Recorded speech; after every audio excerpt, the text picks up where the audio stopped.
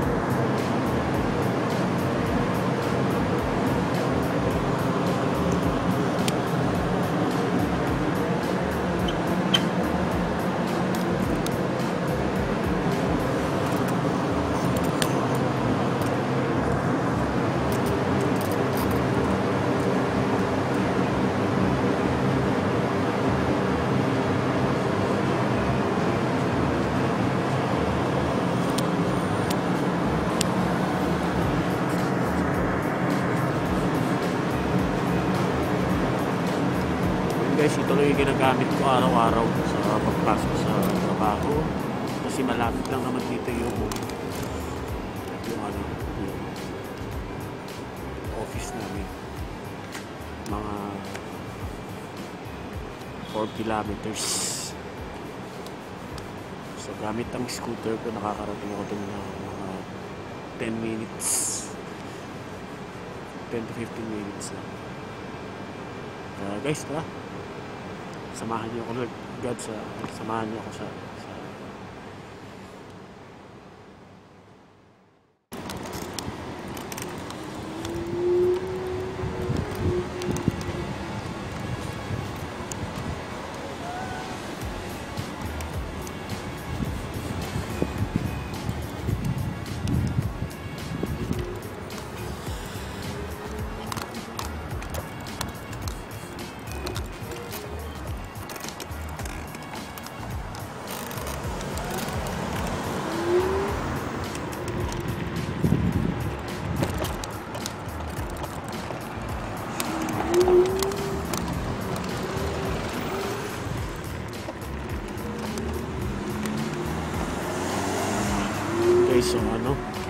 madilim pa.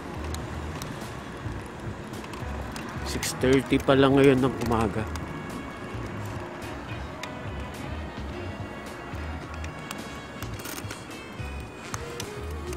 Thirty pa lang ng umaga ngayon pero ay 6.30 na ng umaga ngayon pero napakadilim pa talaga napakadilim at sobrang lamig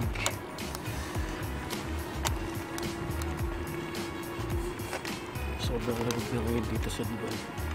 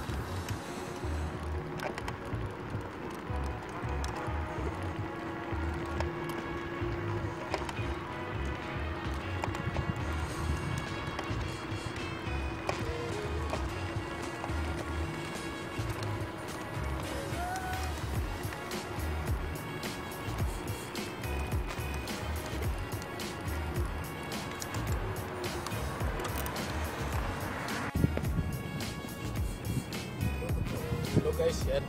Bumili ako ng almusal ko sa grocery. Ah, ang tawag dito ay samosa. Pagkain ng Indiano. Shoutout nga pala dun sa mga tropa ko Indiano na nagturo sa akin kumain na ito. Sa kabayan dito sa Middle na kumakain ng ganito, shoutout din sa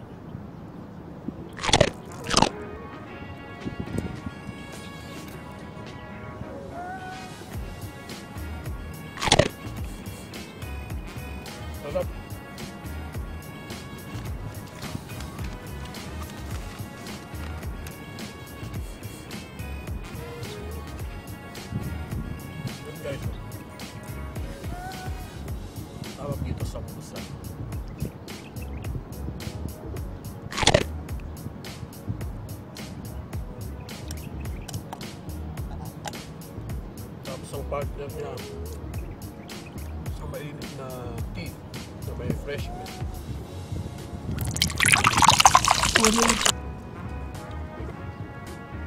Pagkano?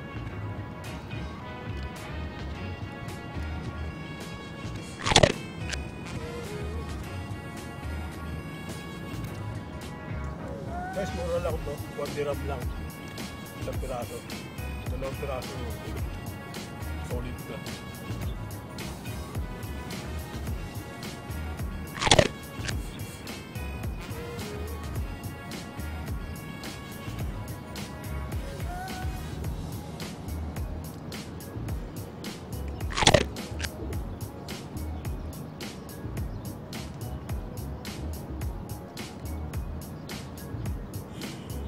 Ito yung background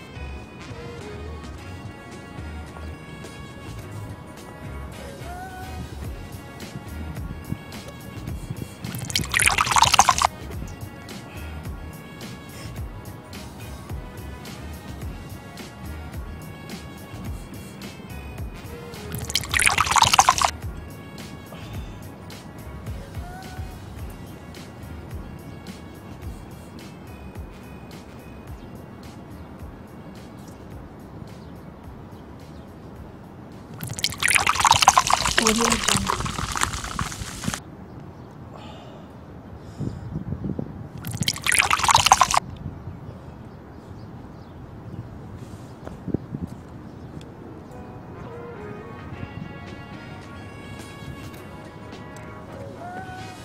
guys, okay oh na. Solve na tayo. Ready to work na naman. Hindi na sa bakbakan.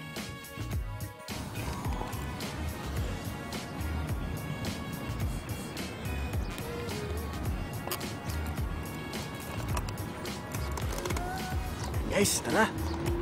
Pasok na.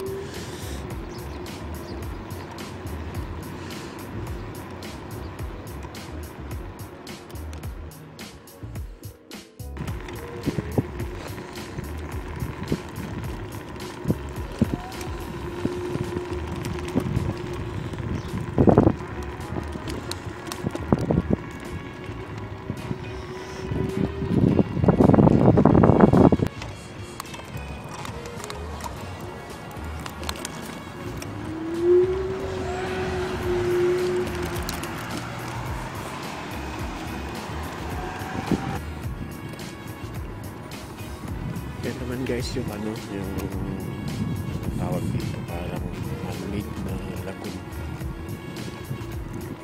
Ganda na dito no, ano, marami nagja-jogging dito.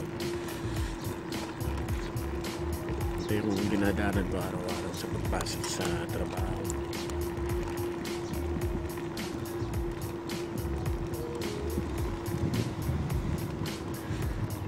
Maganda rito guys mag-jogging yan, nakapirise pa yung takbuhan.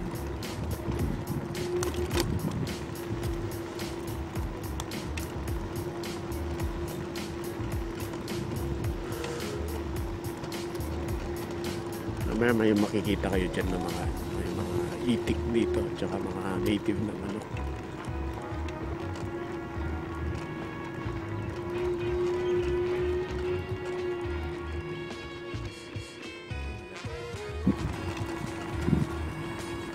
Ayan, yun yung mga itik. Ang daming itik dito.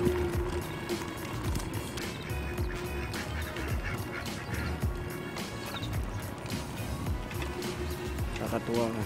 Parang sa Pilipinas. Guys, oh, dami nila. Napakarami itik dito guys. Itik. May mga native din naman.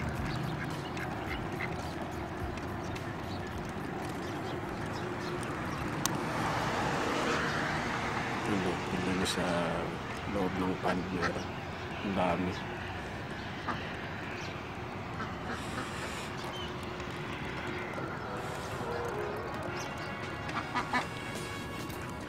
Yun din yung manok ko, yung tinola. tinola. Yan, o. Mga native ng manok ko.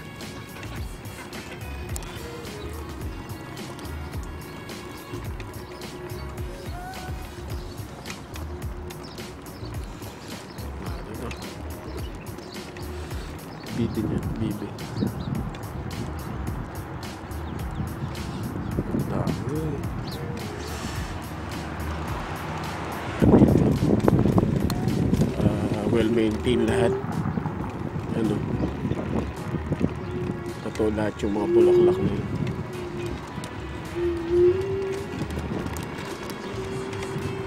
Ano, paano nila pinitrim lahat.